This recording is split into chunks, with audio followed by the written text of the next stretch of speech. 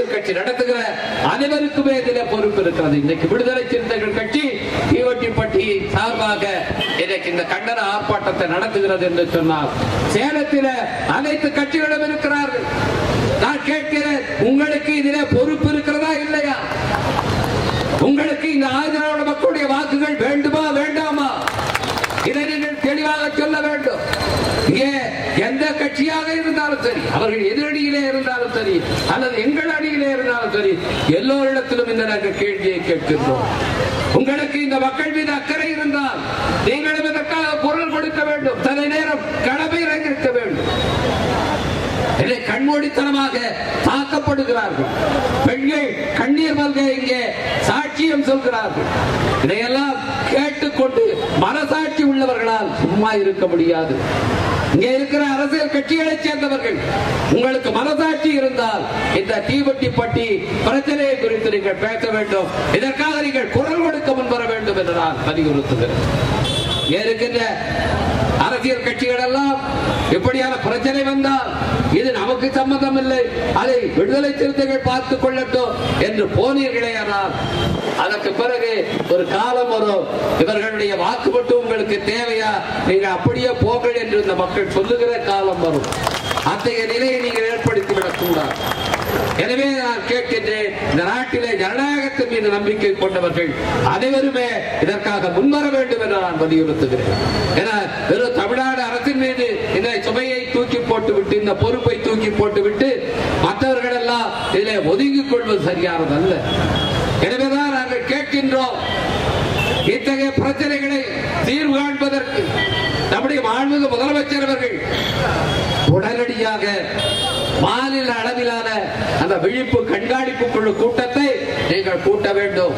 அதில் அனைத்து கட்சி பிரதிநிதிகளும் இருக்கிறார்கள். இதற்காக ஒரு சிறப்பு கூட்டத்தை கூட்டுங்கள் தமிழ்நாடு முழுவதும் இருக்கிற திருக்கோயில்களில அறநிலையத்துறைக்கு உட்பட்ட கோயில்களில வழிபாட்டு சமத்துவத்தை நிலைநாட்டுவதற்கு என்ன வழி என்பதை கண்டறிவதற்காக ஒரு கூட்டத்தை நீங்கள் கூட்ட வேண்டும் என்று இந்த ஆர்ப்பாட்டத்தின் வாயிலாக நாங்கள் வேண்டுகோள் விடுக்கின்றோம். தலைவர் கலைஞர் அவர்கள் ஆற்றிய மிகப்பெரிய கடமை அவர் முதலமைச்சராக இருந்து போட்ட உத்தரவு இந்த திருக்கோயில்களுடைய நிர்வாகத்தை ஜனநாயகப்படுத்துவதற்கு என்ன செய்தார் என்றால் இந்த திருக்கோயிலுடைய அறங்காவலர்களிலே ஒருவர் பெண் நியமிக்கப்பட வேண்டும் அதுபோல ஆதி திராவிட சமூகத்தை சேர்ந்தவர் கண்டிப்பாக ஒருவர் அறநிலையர் துறையின் சார்பில அறங்காவலராக நியமிக்கப்பட வேண்டும் என்று அவர் உத்தரவிட்டிருக்கின்றார். நீங்கள் மூன்று அறங்காவலர்களை ஒரு கோயிலுக்கு நியமிக்கலாம். ஐந்து அறங்காவலர்களை நியமிக்கலாம். ஐந்து அறங்காவலரை நியமிக்கும் போது அல்லது மூன்று அறங்காவலர்களை நியமிக்கும் போது அதுல கட்டாயம் ஒருவர் பெண்ணாக இருக்க வேண்டும். அதுபோல கட்டாயம் ஒருவர் இந்த தனி சமூகத்தை சேர்ந்தவராக இருக்க வேண்டும் என்பது அறநிலையத்துறையினுடைய சட்டம். இன்னைக்கு ஆயிரத்தி ஐநூத்தி அறுபத்தி மூணு கோயில்கள் இருக்கின்றன. இங்க இருக்கின்ற அதிகாரியை தொலைபேசியில கேட்டேன். ஆயிரத்தி ஐநூத்தி அறுபத்தி மூணு கோயில்களும் நீங்கள் அறங்காவலர்கள் நியமித்து விட்டீர்களா? சுமார் முன்னூறு கோயில்களிலே நாங்கள் நியமித்திருக்கிறோம் என்று அவர் பதில் சொன்னார். எவ்வளவு கோயில்கள்? முன்னூறு கோயில். அரசாங்க வேலைகள் இன்றைக்கு காலியாக விடப்பட்டிருக்கின்றன. பத்தொன்பது சதவீதம் எஸ்சி மக்களுக்கு இடஒதுக்கீடு தர வேண்டும் என்று சொன்னார். ஐம்பது சதவீதம் பிற்படுத்தப்பட்டவர்களுக்கு இடஒதுக்கீடு தர வேண்டும் என்று சொன்னார். சட்டப்படி அது இருக்கிறதே தவிர நடைமுறையில் அந்த இடஒதுக்கீடு என்பது நிறைவு செய்யப்படுவது கிடையாது. ஒன்றிய அரசு பணிகளாக இருந்தாலும் சரி மாநில அரசு பணிகளாக இருந்தாலும் சரி இடஒதுக்கீடு என்பது எப்போதும் முழுமையாக நிறைவேற்றப்படுவதில்லை. பின்னடைவு காலிப்படை இடங்கள் ஏராளமாக இருக்கின்றன. அங்கேதான் காலி பணியிடங்கள் இருக்கிறது என்று சொன்னால் இன்றைக்கு அறங்காவலர் பணிகளிலும் ஆயிரக்கணக்கிலே காலி பணியிடங்களை வைத்திருக்கிறேன். ஏன் நீங்கள் நியமிக்க கூடாது? நாற்பத்தி மூணாயிரம் கோயில் இருக்கிறதே. ஒரு கோயிலுக்கு மூணு பேர் என்று சொன்னால் ஏறத்தாழ ஒன்றரை லட்சம் பேரை நீங்கள் நியமிக்கலாம். அதில் அவர்களுக்கு வருமானம் எதுவும் கிடையாது என்றாலும் இவர் கௌரவமாக நினைப்பார்கள். அந்த ஊரிலே ஒரு அந்தஸ்தாக அதை கருதுவார்கள். ஏன் உங்கள் கட்சிக்காரர்களையே நியமித்துக் கொள்ளலாம்? கூட்டணி கட்சியிலே இருக்கிறவர்களுக்கு கொடுக்கலாம். அங்கே இருக்கிற பெரிய மனிதர்களை நீங்கள் நியமிக்கலாம். நியமிப்பது என்ன தடை கேட்டால் அதிகாரிகள் சொல்கிறார்கள் போதிய விண்ணப்பம் வரவில்லை. இந்த தீவட்டிப்பட்டி கோயிலிலே அரங்காவலர் நியமிக்கப்பட்டிருக்கிறாரா என்று கேட்டபோது ஒரே ஒரு அரங்காவலர் நியமிக்கப்பட்டிருக்கிறார். அது தலித் அல்லாத சமூகத்தைச் சேர்ந்தவர். அங்கே பெண் ஒருவர் அரங்காவலராக நியமிக்கப்படவில்லை. அங்கே ஆதிராவிட சமூகத்தைச் சேர்ந்தவர் அரங்காவலர் ஏன் நியமிக்கப்படவில்லை? அப்படி நியமிக்கப்பட்டிருந்தால் இந்த பிரச்சனை அங்கே தீர்ந்து போயிருக்கும். இந்த தீவட்டிப்பட்டி கோயிலில மூன்று அரங்காவலர்கள் நியமிக்கப்பட்டு அதில் ஆதிராவிட சமூகத்தைச் சேர்ந்த ஒருவரும் அரங்காவலராக இருந்திருந்தால் இந்த பிரச்சனை அந்த கோயில் அளவிலேயே தீர்க்கப்பட்டிருக்கும். இன்னைக்கு இவ்வளவு பெரிய பிரச்சனையாக இது உருமாறி சட்டம் ஒழுங்கு பிரச்சனையாக இது உருமாறி இருக்கிறது என்று சொன்னால் இந்த அரங்காவலர்கள் நியமனம் செய்யப்படாதது அதற்கு முதன்மையான காரணம். எனவே இந்த ஆர்ப்பாட்டத்தின் வாயிலாக நாங்கள் தமிழ்நாடு அரசுக்கு குறிப்பாக நம்முடைய இந்த அறநிலையத்துறை அமைச்சர் என்னுடைய அன்புக்குரிய அண்ணன் சேகர்பாபு அவர்களுக்கு வேண்டுகோள் விடுக்கின்றோம். நீங்கள் உடனடியாக தமிழ்நாட்டிலே இருக்கிற அறநிலையத்துறைக்கு உட்பட்ட கோயில்களிலே அரங்காவலர்களை நியமியுங்கள். இங்க மற்றவர்களை நியமிக்கிறீர்களோ இல்லையோ? ஆதி திராவிடர்களை எல்லா கோயிலையும் சட்டப்படி அரங்காவலர்களை நியமியுங்கள் இதை உடனடியாக செய்யுங்கள். இங்கே இருக்கிற மாவட்ட ஆட்சித்தலைவர் அவரிடத்தில் நான் கேட்டுக் கொள்கின்றேன் தீவட்டிப்பட்டியில உடனடியாக இந்த எஞ்சியுள்ள அரங்காவலர்களை நீங்கள் நியமிக்க வேண்டும். இங்கே இருக்கிற மாவட்ட ஆட்சித்தலைவர் ஒரு பெண்மணியாக இருக்கின்ற காரணத்தினால நீங்கள் உடனடியாக ஒரு பெண்ணை இங்கே அந்த சட்டப்படி அரங்காவலராக நியமியுங்கள். ஒரு ஆதி திராவிடரை அந்த சட்டப்படி ஒரு அரங்காவலராக நியமியுங்கள். நியமித்து இந்த பிரச்சனைக்கு தீர்வு காண முன்பாருங்கள் இந்த மாவட்டத்திலே இருக்க ஆயிரத்தி ஐநூத்தி அறுபத்தி மூணு கோயில்கள் திருக்கோயில்களிலும் உடனடியாக இந்த அரங்காவலர் நியமனங்களை செய்ய வேண்டும் என்று இங்கே இருக்கிற இந்த அறநிலையத்துறையினுடைய இணை ஆணையர் ஜாயின்ட் கமிஷனர் அவர்தான் அதற்கான பொறுப்பானவர். அவரிடத்தை நாங்கள் வலியுறுத்தி கேட்டுக் கொள்கின்றோம். இதையெல்லாம் செய்தால்தான் இந்த வழிபாட்டு சமத்துவம் என்பது நிலைநாட்டப்படும். அதற்கான சட்டங்கள் இயற்றப்பட்டிருக்கின்றன எவ்வளவு இடர்பாடுகளுக்கிடையே எவ்வளவு எதிர்ப்புக்கிடையே தலைவர் கலைஞர் அவர்கள் இந்த சட்டங்களை எல்லாம் கொண்டு வந்தார் இந்த ஆணைகளை பிறப்பித்தார் என்பது தமிழ்நாட்டினுடைய சமூக நீதி வரலாற்றை தெரிந்தவர்களுக்கு தெரியும். அவர் பெயராலே நடத்தப்படுகிற இந்த அரசு அவருடைய அந்த நோக்கத்தை இன்றைக்கு நிறைவேற்ற வேண்டியது இந்த அரசாங்கத்துடைய முக்கியமான கடமை முதன்மையான கடமை. இதை நாங்கள் சுட்டிக்காட்ட வேண்டிய தேவையில்லை. கலைஞர் அவர்கள் போட்ட உத்தரவுகளை நீங்கள் நடைமுறைப்படுத்துங்கள். தலைவர் கலைஞர் அவர்கள் கொண்டு வந்த சட்டத்தை நீங்கள் நடைமுறைப்படுத்துங்கள் என்று தமிழ்நாடு அரசுக்கு விடுதலை சிறுத்தைகள் போய் வேண்டுகோள் வைக்க வேண்டிய தேவையில்லை. அது உங்களுக்கே நன்றாக தெரியும். ஆனாலும் கூட இந்த சமூக நீதியை பாதுகாப்பதிலே வழிபாட்டு சமத்துவத்தை நிலைநாட்டுவதிலே இன்றைக்கு இந்தியாவுக்கே வழிகாட்டி தலைவர் கலைஞர் அவர்கள் தான். வேறு யாரையும் சொல்ல முடியாது அத்தகைய மகத்தான ஆளுமை தலைவர் கலைஞர் அவர்கள். அதனால்தான் தலைவர் எழுச்சி தமிழர் அவர்கள் சமத்துவ பெரியார் என்று அவருக்கு பட்டமளித்து பாராட்டினார். அத்தகைய ஒரு மாபெரும் ஆளுமை இன்றைக்கு உருவாக்கி தந்திருக்கிற அந்த சட்டங்கள் அவர் பிறப்பித்த ஆணைகளை தமிழ்நாடு அரசு குறிப்பாக இந்து அறநிலையத்துறை நிலைநாட்ட வேண்டும் நிறைவேற்ற வேண்டும் என்று நாங்கள் இந்த ஆர்ப்பாட்டத்தின் வாயிலாக கேட்டுக்கொள்கின்றோம். மாண்பு முதலமைச்சர் அவர்கள் இந்த ஆதி திராவிட சமூகத்துக்காக பல்வேறு நலத்திட்டங்களை பொருளாதார மேம்பாட்டு திட்டங்களை இன்றைக்கு இயற்றி நிறைவேற்றி வருகிறார். அது தமிழ்நாடு என்பது அதில் பல முன்னோடியாக இருக்கிறது. இதை நாங்கள் மறுக்கவில்லை. இன்றைக்கு அவர் எடுத்து வருகிற நடவடிக்கைகள் எல்லாம் பாராட்டத்தக்கவை போற்றத்தக்கவை. அதை நாங்கள் மறுக்கவில்லை. நாங்கள் அதை பாராட்ட கடமைப்பட்டிருக்கின்றோம். ஆனால் அதே நேரத்திலே இந்த அரசுக்கு கலந்து விளைவிக்கும் விதமாக இந்த மாநிலத்திலே திராவிட முன்னேற்ற கழக ஆட்சி பொறுப்பேற்றதற்கு பிறகு வன்கொடுமைகளுடைய எண்ணிக்கை பெருகிக் கொண்டே போகிறது. தமிழ்நாடு அரசை வெளியிட்டு இருக்கிற புள்ளி ஓரம் இரண்டாயிரத்தி இருபத்தி ஒன்னாம் ஆண்டுல இங்க பதியப்பட்ட வழக்குகள். மொத்தமாக பதியப்பட்ட வழக்குகள் ஆயிரத்தி ஐநூத்தி சொச்சம் வழக்குகள் இங்கே பதியப்பட்டன. இன்றைக்கு இரண்டாயிரத்தி இருபத்தி மூணுல அதே இங்க தமிழ்நாட்டிலே எவ்வளவு வழக்குகள் பதியப்பட்டிருக்கிறது என்று சொன்னால் இரண்டாயிரத்தி அறுபத்தி எட்டு வழக்குகள் பதியப்பட்டிருக்கிறது. ரெண்டாயிரத்தி இருபத்தி ஒன்றில ஆயிரத்தி ஐநூத்தி முப்பத்தி நாலு ரெண்டாயிரத்தி தொள்ளாயிரத்தி ஐம்பத்தி நாலு ரெண்டாயிரத்தி இருபத்தி மூணுல ரெண்டாயிரத்தி அறுபத்தி எட்டு. ரெண்டாயிரத்தி இருபத்தி ஒண்ணுல பதிவான கொலை வழக்குகள் அறுபத்தி எட்டு. இரண்டாயிரத்தி இருபத்தி மூணுல அந்த கொலை வழக்குகள் தொண்ணூத்தி ரெண்டாக உயர்ந்திருக்கிறது.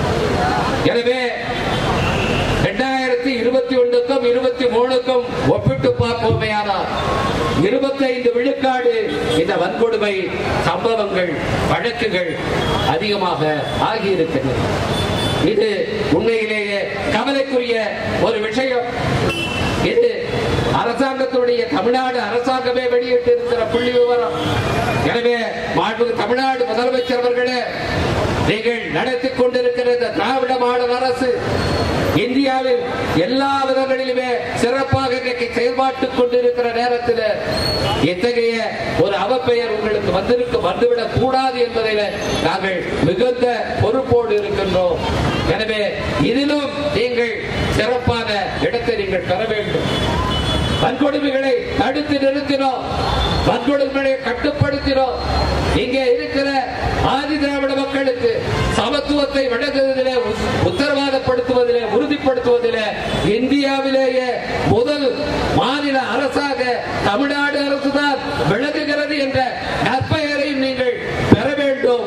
அதற்காக உங்களோடு உடன் உழைப்பதற்கு விடுதலை சிறுத்தைகள் என்றும் நாங்கள் தயாராக இருக்கிறோம்.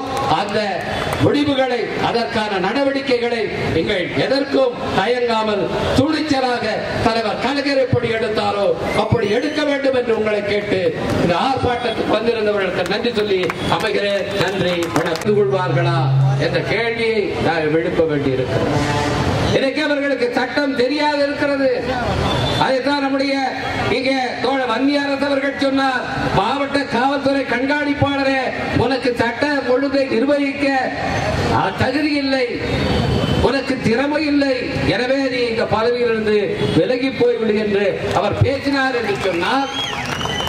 அதற்கு காரணம் இந்த சட்டங்களை அவர் தெரிந்திருந்தால் இப்படி அவர் நடந்து கொண்டிருக்க மாட்டார். நம்முடைய சட்டமன்ற உறுப்பினர் பாலாஜி அவர்கள் சொன்னார் இங்கே மாவட்ட ஆட்சித்தலைவர் முன்னாலேயே நடக்கின்ற சமாதான பேச்சுவார்த்தை கூட்டத்தில் அவர்கள் இவர்களை கோயிலுக்குள்ளே அனுமதிக்க மாட்டோம் என்று சொல்கிறார்கள். அவர் முன்னிலையிலே அப்படி சொல்லும் போது நாங்கள் ஒரு நாள் கேட்டுவிட்டு வருகிறோம் என்று பேசுகிறார்கள். அதற்கு அவர் அனுமதிக்கிறார். இதுவே ஒரு குற்றம். அவர் முன்னிலையிலே அந்த குற்றம் நிகழ்கிறது. ஆனால் அவர் வேடிக்கை பார்த்துக் கொண்டிருக்கிறார்? எப்படி அதை வேடிக்கை பார்க்கிறார்? எந்த கேள்வியை எழுப்பினார்? இன்றைக்கு மாவட்ட ஆட்சித்தலைவர் இருக்கிறார். இப்படி ஒரு கூட்டம் நடக்கிறது.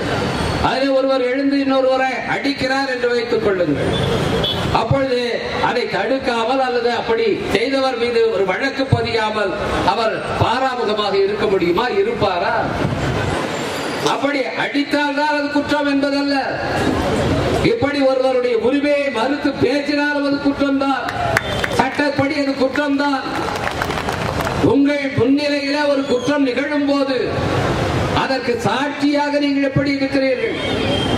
இதெல்லாம் வீடியோகிராஃப் செய்யப்பட்டிருக்கும் நிச்சயமாக இந்த சமாதான கூட்டங்கள் எப்பொழுதுமே வீடியோகிராஃப் செய்யப்படுகின்றன. உங்கள் முன்னிலையிலே கண்ணுக்கு முன்னிலையில ஒரு குற்றம் நிகழுமானால் அதை தடுக்க வேண்டிய கடமை உங்களுக்கு மாவட்ட ஆட்சித்தலைவர் என்ற முறையிலே இருக்கிறது. அதை நீங்கள் தடுத்திருக்க வேண்டும். இல்லை என்றால் அந்த குற்றவாளியின் மீது நீங்கள் வழக்கு பதிய ஆணை பிறப்பித்திருக்க வேண்டும். அதை செய்ய வேண்டும் என்பதுதான் இங்கே பேசியவர்களுடைய அந்த வேண்டுகோள் அல்லது கோரிக்கை. எனவே இங்கே இருக்கிற வருவாய்த்துறை அதிகாரிகளாக இருந்தாலும் சரி காவல்துறை அதிகாரிகளாக இருந்தாலும் சரி இந்த மக்களுடைய உரிமைகள் என்ன என்பதை தெரிந்து கொண்டு அதன்படி நடக்க வேண்டும். நாம் கேட்பது இந்த காவல்துறை அதிகாரிகளோ இங்கே இருக்கிற வருவாய்த்துறை அதிகாரிகளோ நீங்கள் இந்த மக்களுக்கு ஏதாவது சலுகை காட்டுங்கள். இவர்களுக்கெல்லாம் கருணை காட்டுங்கள் என்று வேண்டுகோள் விடுக்க என்று கெஞ்சுவதற்கு நாங்கள் இங்கே இந்த ஆர்ப்பாட்டத்தை நடத்தவில்லை நாங்கள் கேட்பது ஒன்றுதான். உங்களுடைய கடமை சட்டத்தை நிலைநாட்டுவது. அதற்காகத்தான் நீங்கள் நியமிக்கப்பட்டிருக்கிறீர்கள். அதற்காகத்தான் அரசாங்கம் உங்களுக்கு ஊதியம் அளிக்கிறது. அந்த ஊதியம் எங்களை போன்ற பொதுமக்களுடைய வரிப்பணத்திலிருந்து வழங்கப்படுகிறது.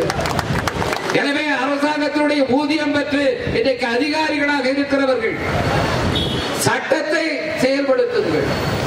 சட்டத்தை செயல்படுத்துங்கள். அதுதான் உங்களுடைய கடமை என்று உங்களுடைய கடமையை சுட்டிக்காட்டுவதற்கு தான் இந்த ஆர்ப்பாட்டத்தை இங்கு நடத்துகிறோம்.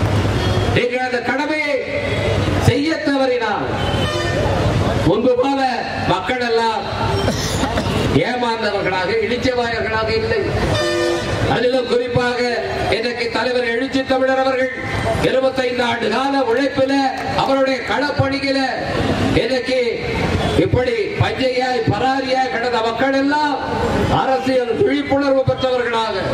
என்ன சொல்ல போனால் தமிழ்நாட்டிலேயே மிகுந்த அரசியல் விழிப்புணர்வு பெற்றவர்கள் யார் என்று சொன்னால் இன்னைக்கு ஒடுக்கப்பட்ட மக்கள் தான் விடுதலை சிறுத்தைகள் தான் என்பதை எல்லோருமே அறிவார்கள். எனவே அத்தகைய விழிப்புணர்வு பெற்ற நிலையிலும் நீங்கள் சட்டத்தை செயல்படுத்த தவறினால் அதை நாங்கள் வேடிக்கை பார்த்துக் கொண்டிருக்க மாட்டோம் என்றுதான் இங்கே பேசிய தோழர்கள் குறிப்பிட்டார். அன்பார்ந்த தோழர்களே இன்னைக்கு இருக்கிற இந்த இந்த அறநிலையத்துறை உட்பட்ட கோயில்கள் இந்த நாற்பத்தி மூணாயிரம் கோயில்கள் இருக்கிறது என்று சொன்னார். இத பல ஆயிரம் கோயில்கள்ல இப்படியான அவல நிலை இருக்கிறது. இந்த தீவட்டிப்பட்டியில மட்டுமல்ல இன்னும் பல இடங்களில் இப்படி இருக்கிறது. இதற்காகத்தான் இங்கே இருக்கின்ற இந்த சாதிய இறுக்கத்தை தளர்த்த வேண்டும் என்பதற்காகத்தான் இதற்கு முன்பே பல தலைவர்கள் போராடி இருக்கிறார் தலைவர் கலைஞர் அவர்கள் இதிலே முன்னோடி பங்கை அளித்தவர். அவருடைய பிறந்த நாள் இன்னும் ஒரு மாதத்திலே வர இருக்கிறது. அவருடைய நூற்றாண்டு நிறைவு பெற்று நூற்றி ஓராவது பிறந்த நாள் அது. இந்த நிலையில ஐம்பது ஆண்டுகளுக்கு முன்னால் அவர் துணிச்சலாக எடுத்தபடி ஆயிரத்தி தொள்ளாயிரத்தி அவர் முதலமைச்சராக பொறுப்பேற்ற போது அவர் ஒரு சட்டத்தை கொண்டு வந்தார். வெறும் வழிபாட்டு சமத்துவம் அல்ல கருவறை சமத்துவத்திலே அர்ச்சகராக அனைத்து சாதியினரும் இருக்கலாம் என்கிற சட்டத்தை ஐம்பது ஆண்டுகளுக்கு முன்பே கொண்டு வந்தவர் தலைவர் கலைஞர் அவர்கள். அந்த சட்டத்துக்கு எதை அவர் காரணமாக காட்டியிருந்தார் என்றால் மறைந்த தலைவர் எல். இளைய பெருமாள் அவர்கள் இந்தியா முழுவதும் போய் இந்த தலித் என்ன நிலையிலே இருக்கிறார்கள்? அவருடைய பொருளாதார நிலை என்ன? சமூக நிலை என்ன? என்பதை ஆராய்ந்து ஒரு அறிக்கையை இந்திய அரசுக்கு கொடுத்திருந்தார் ஆயிரத்தி தொள்ளாயிரத்தி அறுபத்தி ஒன்பதுல அந்த அறிக்கையிலே அவர் ஒன்று காட்டி சுட்டி காட்டி இருந்தார் இந்த சாதியை இறுக்கம் தகர வேண்டும் என்று சொன்னார். அனைத்து சாதியினரும் அர்ச்சகராவதற்கு சட்டம் இயற்றப்பட வேண்டும் என்று அவர் வலியுறுத்தி இருந்தார் அவர் ஆலோசனை வழங்கியிருந்தார். அந்த ஆலோசனையை சுட்டிக்காட்டித்தான் தலைவர் கலைஞர் அவர்கள் அந்த சட்டத்தை கொண்டு வந்தார். அந்த சட்டம் உச்ச நீதிமன்றத்தில் பலராலும் எதிர்க்கப்பட்டது. புகழ்பெற்ற வழக்காக அது மாறியது. சேஷம்மாள் வழக்கு என்று இன்னைக்கு வழக்கறிஞர்கள் எல்லாம் நீதிபதிகள் எல்லாம் அதை சுட்டிக்காட்டுவார்கள்.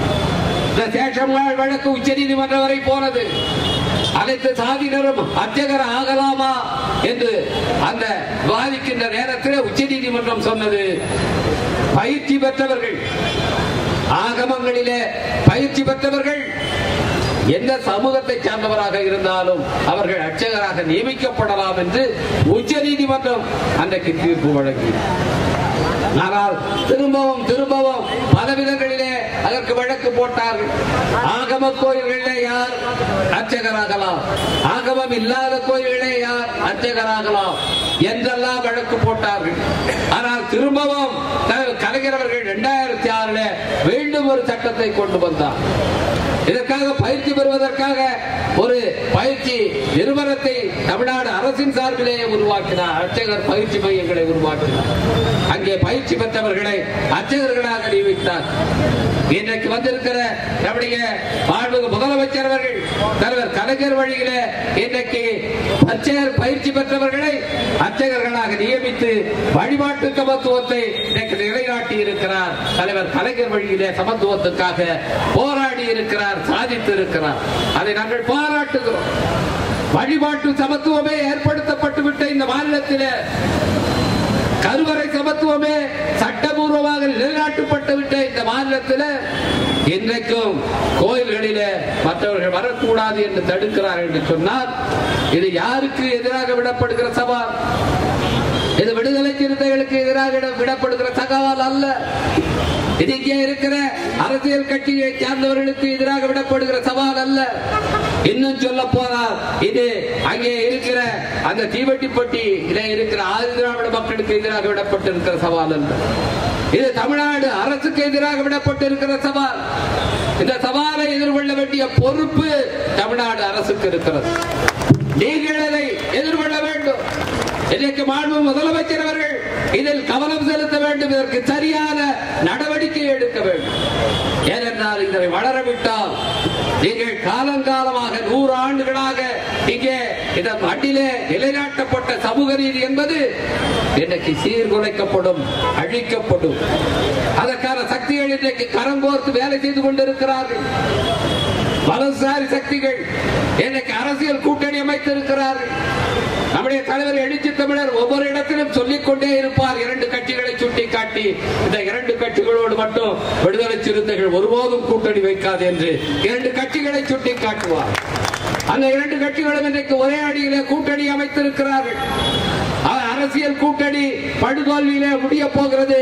ஜூன் மாதம் நாலாம் தேதி தேர்தல் முடிவு வரும். அன்றைக்கு அந்த தீர்ப்பு எழுதப்படும். ஆனால் சமூகத்திலே அந்த கூட்டணி என்பது விஷத்தை பரப்பிக் கொண்டிருக்கிறது. அரசியலிலே நாம் அதை முறியடிப்பது எளிது. ஆனால் சமூக தளத்திலே அதை முறியடிக்க வேண்டும் என்று சொன்னால் அது ஒருங்கிணைந்த முயற்சி தேவை. அதற்கு இந்த சமூகத்தின் மீது அக்கறை கொண்ட அனைவரும் முன்வர வேண்டும். இது விடுதலை சிறுத்தைகள் கட்சி மட்டும் செய்யக்கூடிய ஒரு வேலை அல்ல. திராவிட முன்னேற்ற கழகம் மட்டும் செய்யக்கூடிய ஒரு வேலை அல்ல. தமிழ்நாடு அரசு மட்டும் செய்யக்கூடிய வேலை அல்ல.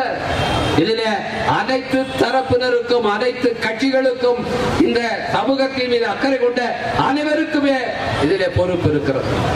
ஏனென்று சொன்னால் இன்னைக்கு எந்த கட்சியெல்லாம் தேர்தலில் போட்டியிடுகிறதோ எல்லா கட்சிகளும் எல்லாருடைய வாக்கும் வேண்டும் என்றுதான் சொல்லி தேர்தல் நிற்கிறார்கள். எங்களுக்கு ஆதி திராவிடர் வாக்குகள் வேண்டாம் என்று ஏதாவது ஒரு அரசியல் கட்சி இங்கே சொல்ல முடியுமா? அப்படி சொல்லி அவர்கள் தேர்தலில் நிற்க முடியுமா? அதற்கு சட்டம் அனுமதிக்குமா? அனுமதிக்காது. இன்னைக்கு பாரதிய ஜனதா கட்சி நம்முடைய பிரதமர் என்ன பேசுகிறார்? எல்லா இடங்களிலும் போய் இஸ்லாமியர்களுக்கு எதிராக விஷத்தை கத்துகிறார். அப்படி விஷத்தை கத்துகிற பிரதமர் கூட எங்களுக்கு இஸ்லாமியர்கள் ஓட்டு போட வேண்டாம். உங்கள் வாக்கு தேவையில்லை என்று அவர் பேசவில்லை. அவரால் கூட அப்படி பேச முடியாது.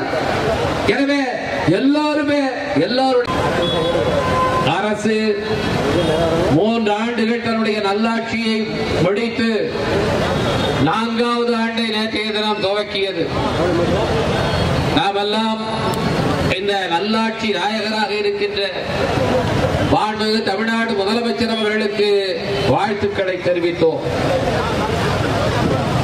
அப்படி சிறப்பாக நடைபெற்றுக் கொண்டிருக்கின்ற இந்த ஆட்சியில இந்த ஆட்சியின் நற்பெயருக்கு களங்கம் ஏற்படுத்துகிற விதத்தில் இத்தகைய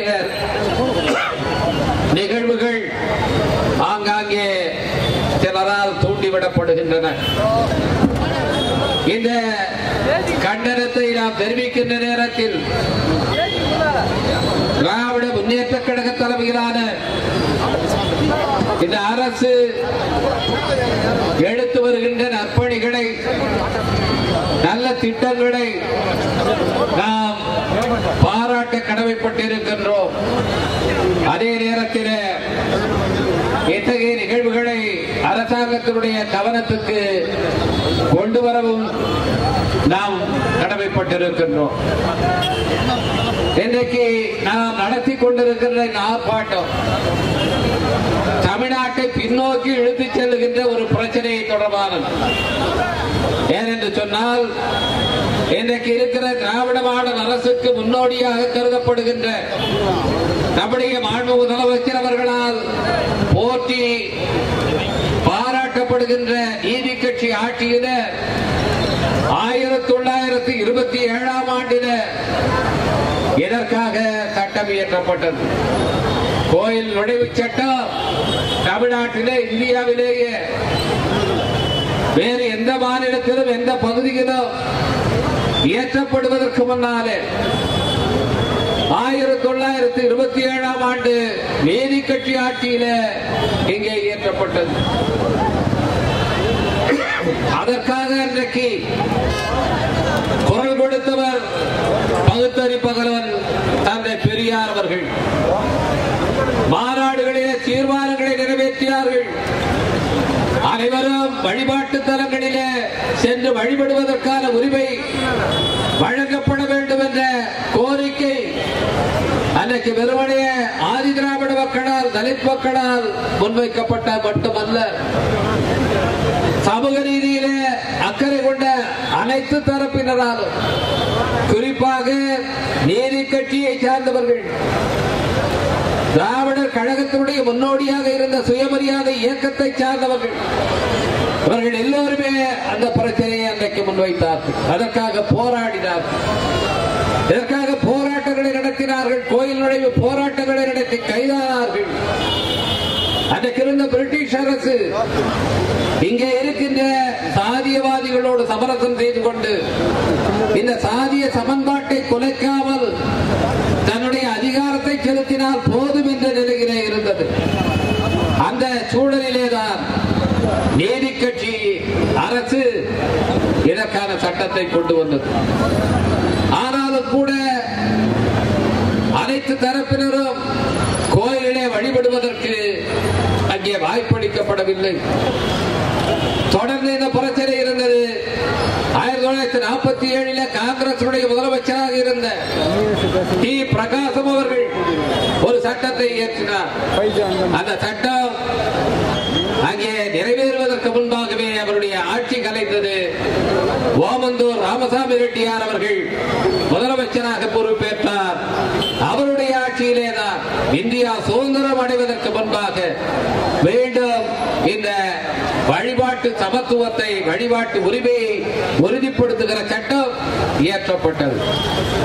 இப்படி இந்தியாவுக்கே முன்னோடியாக பல நடவடிக்கைகளை எடுத்த மாநிலம் நம்முடைய தமிழ்நாடு. இந்தியாவுக்கே சமூக நீதியிலே சமத்துவத்திலே வழிகாட்டக்கூடிய பல நடவடிக்கைகளை எடுத்த அரசு தமிழ்நாடு அரசு அப்படி ஒரு வரலாற்று சிறப்பை கொண்ட இந்த தமிழ்நாட்டிலே. நூறு ஆண்டுகளுக்கு பிறகு மீண்டும் கோயிலே வழிபடுவதற்காக நாம் போராடுகிறோம் ஆர்ப்பாட்டம் நடத்துகிறோம் என்று சொன்னால் இது தமிழ்நாடு முன்னேற்றம் செய்வதற்கான ஒரு பிரச்சனையா அல்லது தமிழ்நாட்டை பின்னோக்கி இழுத்து செல்கிற பிரச்சனையா என்பதை நாம் சிந்தித்து பார்க்க வேண்டும். இன்றைக்கு தமிழ்நாட்டினுடைய வளர்ச்சியை தடுக்க விரும்புகிறவர்கள் தமிழ்நாட்டை முன்னேற விடாமல் தடுக்க வேண்டும் என்கிறவர்கள் பிற்போக்கு சக்திகள் ஒன்று கூடிக்கொண்டு இங்கே இத்தகைய சதி வேலைகளில் ஈடுபடுகிறார்கள். எனக்கு இங்கே தீவெட்டிப்பட்டியில் மட்டுமல்ல தமிழ்நாட்டிலே பல இடங்கள் ஏன் விழுப்புரத்திலே மேற்பாதி என்ற இடம் இப்படி பல இடங்களில கோயில் வழிபடுவதற்கான உரிமை மறுக்கப்படுகிறது என்று சொன்னால் இது ஏதோ தானா தானாக நடக்கிறது என்று நாம் கருதிவிட முடியாது. இது திட்டமிட்ட முறையிலே நடத்தப்படுகிறது தமிழ்நாட்டிலே இன்றைக்கு அரசியல் நடத்துகிற வலதுசாரி சக்திகள் சனாதன சக்திகள் அவர்கள் வெளிப்படையாகவே இன்றைக்கு பேசுகிறார்கள் கோயில்களை அரசாங்க கட்டுப்பாட்டிலிருந்து மீட்போம் என்று பேசுகிறார்கள் இங்கே இருக்கிற பாரதிய ஜனதா கட்சி சங்க பரிவார அமைப்புகள் பேசுகின்றன அவர்களோடு கூட்டாளிகளாக இருக்கிறவர்கள் பேசுகிறார்கள் கோயிலிலே அரசாங்கம் ஏன் தரங்கிடுகிறது கோயில்களை அரசாங்க கட்டுப்பாட்டிலிருந்து நாம் விடுவிப்போம் என்று பேசுகிறார். கோயில் எப்பொழுது அரசாங்க கட்டுப்பாட்டில் வந்தது? இதை நாம் எண்ணி பார்க்க வேண்டும். முன்பெல்லாம் மன்னர்கள் காலத்திலே கோயில்களை மக்கள் கட்டினாலும் அது மன்னருக்கு அவருடைய அதிகாரத்திற்கு கட்டுப்பட்டதாகத்தான் இருந்தது. இங்கே மன்னராட்சி முறை ஒழிந்து அதற்கு பிறகு பிரிட்டிஷ் காலனி ஆட்சி மெல்ல மெல்ல இங்கே வலுப்பற்ற நேரத்தில் இந்த கோயில்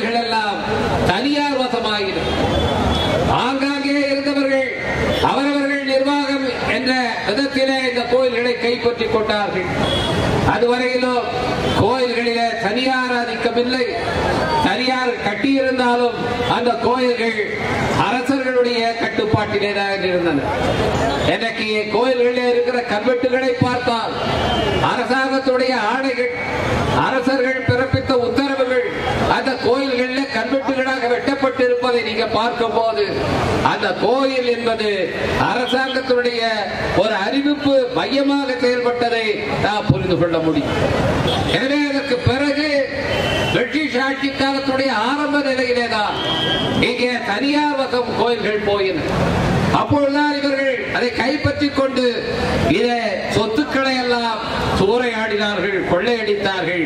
அதனுடைய வருமான அவர்கள் கைவசம் எடுத்துக் கொண்டார்கள். இந்த சீர்குலைவை பார்த்து பிரிட்டிஷ் ஆட்சி காலத்திலே அவர்கள் எவ்வளவு காலம் ஏறத்தாழ் இருநூறு ஆண்டுகளுக்கு முன்னாலே ஆயிரத்தி எண்ணூத்தி பதினேழாம் ஆண்டிலே முதல் முறையாக கோயில்களை அரசாங்கத்தினுடைய கட்டுப்பாட்டிலே எடுப்பதற்காக ஒரு சட்டத்தை கொண்டு வந்தார். அந்த சட்டம் கொண்டு வந்து அதற்கு பிறகு அதற்கான நிர்வாகத்தை முழுமையாக அரசாங்க கட்டுப்பாட்டிலே ஆயிரத்தி எண்ணூத்தி அறுபத்தி மூணுல எடுப்பதற்கான இந்த இந்து அறநிலை கொடைகள் சட்டம் என்ற ஒரு சட்டத்தை ஆயிரத்தி எண்ணூத்தி அறுபத்தி மூணுல அன்றைக்கு இருந்த ஆங்கிலேய பிரிட்டிஷ் அரசாங்கம் இயற்றியது. அப்பொழுதுதான் அரசாங்கத்தினுடைய கட்டுப்பாட்டிலே கோயில்கள் வந்தன. கோயிலுடைய நிர்வாகத்தை அரசாங்கம் எடுத்தது. எடுத்துக்கொண்டு அதற்கு பிறகுதான் அவர்கள் இந்த நிர்வாகத்தை சீரமைத்தார்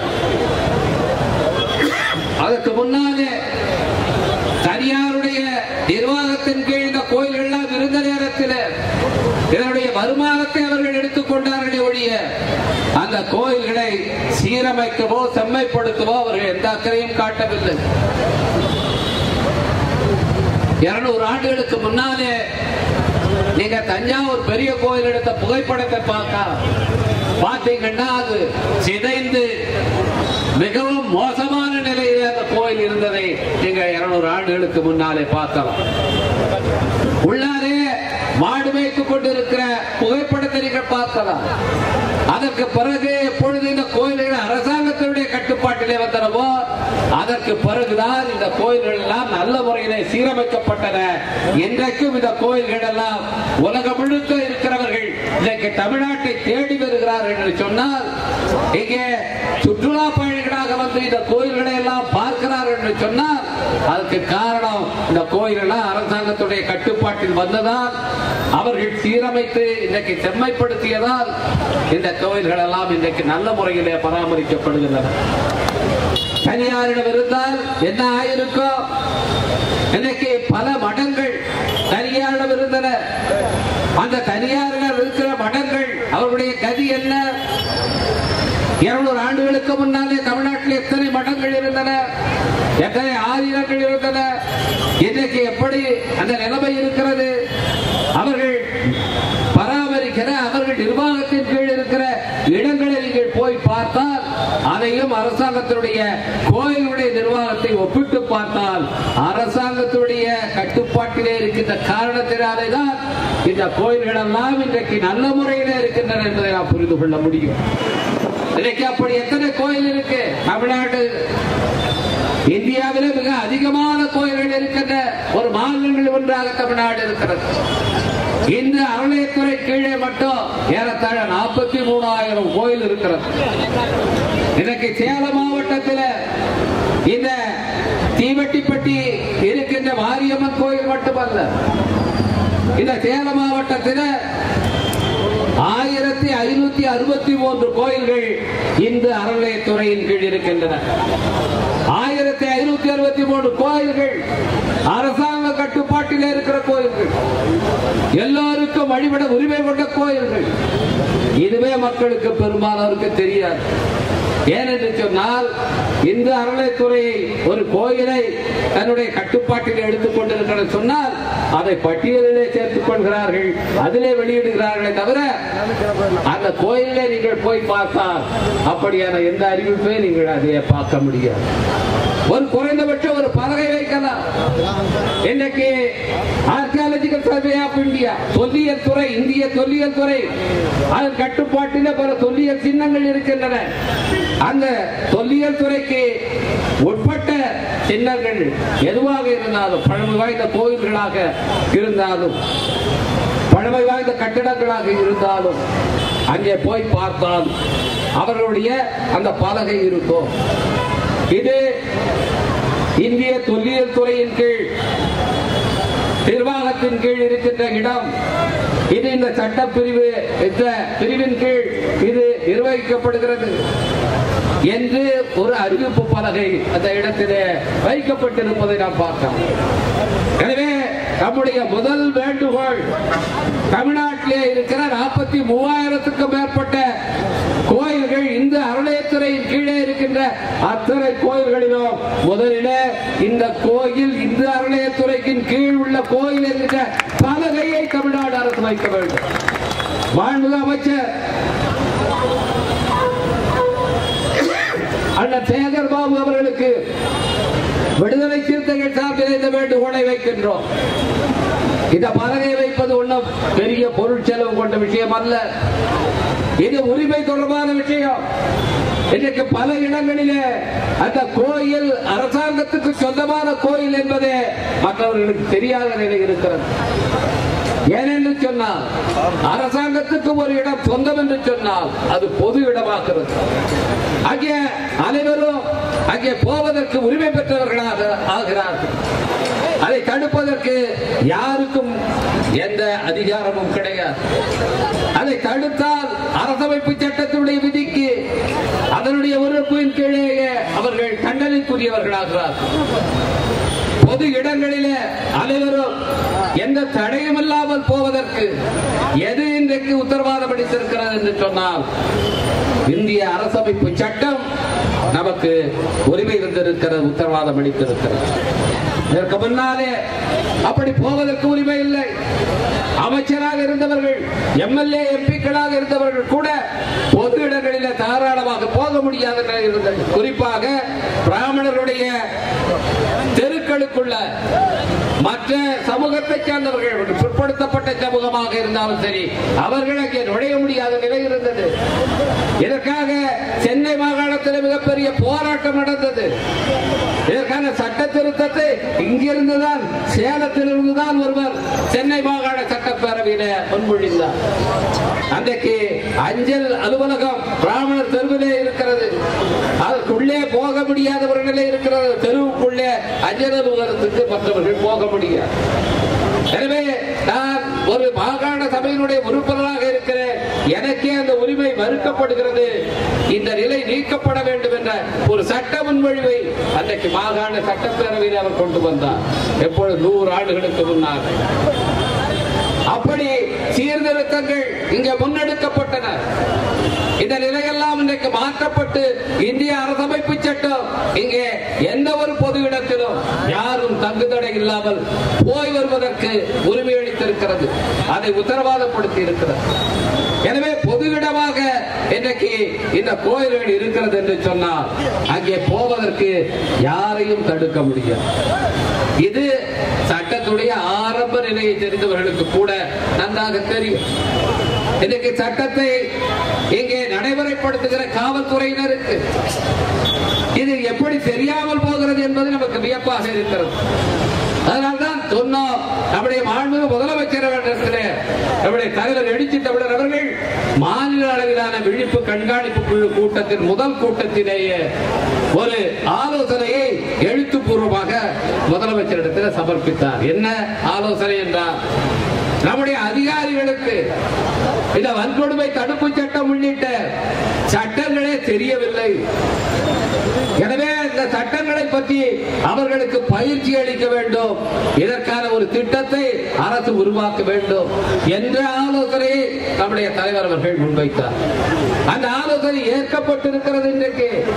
இன்றைக்கு இதற்காக தமிழ்நாடு அரசு ஒரு திட்டத்தை உருவாக்கி காவல்துறை அதிகாரிகள் அதுபோல வருவாய்த்துறை அதிகாரிகள் இவர்களுக்கெல்லாம் வன்கொடுமை தடுப்பு சட்டம் என்றால் என்ன? அப்போல மனித உரிமைகள் என்றால் என்ன? என்று இன்றைக்கு சென்னையிலே இவர்களை அணி அணியாக அழைத்து அவர்களை அங்கே தங்க வைத்து அவர்களுக்கு பயிற்சி கொடுக்கிறார்கள். காவல்துறையில ஒருவர் சேர்ந்து விட்டார். நாம் எல்லாம் என்ன நினைக்கிறோம்? அவர்தான் சட்டம் ஒழுங்கை தீர்மானிக்கிறார் நிர்வகிக்கிறார் நடைமுறைப்படுத்துகிறார் பாதுகாக்கிறார். எனவே சட்டத்தை பற்றி அவருக்கு எல்லாம் நல்லா தெரியும் என்று நாம் நினைத்துக் கொண்டிருக்கிறோம். நீங்கள் ஒரு வேடிக்கையாக போய் கேட்டு பாருங்கள். ஏன் நல்ல ஒரு காவல்துறை அதிகாரிகளாக இருக்கிற இடத்தில் கேட்டு பாருங்கள். நீங்கள் உங்களுக்கு தெரிந்த ஒரு சட்டப்பிரிவை பற்றி அவரிடத்தை கேட்டால் அவர்களுக்கு தெரியாது. அவர்கள் ஒரு அரசாங்க வேலைக்கு வந்து விட்டோம். தினம் காலையில வர்றோமா போறோமா? இன்னைக்கு என்ன? நிர்வாகம் அதை மட்டும் பார்த்துட்டு அவங்க போயிட்டு இருக்காங்க. அதுக்கு மேல அவர்கள் எதையும் தெரிந்து கொள்வது கிடையாது. ஒவ்வொரு ஆண்டும் பல்வேறு சட்ட திருத்தங்கள் வந்து கொண்டிருக்கின்றன. ஆனா என்ன சொல்லுது சட்டம்னா எல்லா குடிமகளும் சட்டத்தை நன்றாக தெரிந்து வைத்திருக்க வேண்டும். எனவே இப்படி ஒரு சட்டம் இருக்கிறது என்று எனக்கு தெரியாது என்று நீங்கள் போய் நீதிமன்றத்தில் சொல்ல முடியாது. நிச்சயமாக நமக்கு தெரியாது. குடியுரிமை திருத்த சட்டம் ஒன்று வந்திருக்கு. அது என்னென்ன திருத்தங்களை கொண்டு வந்தார்கள்? என்பதை பற்றி இன்னைக்கு நாம் பெரிய விவாதங்களை நடத்துகிறோம்.